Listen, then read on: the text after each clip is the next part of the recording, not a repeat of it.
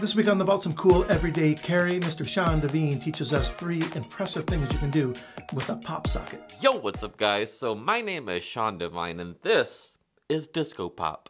So in this download I'll teach you how to find a card, predict a card, and change a card all using your pop socket. Was that the one? Was that the take? Alright, we got it.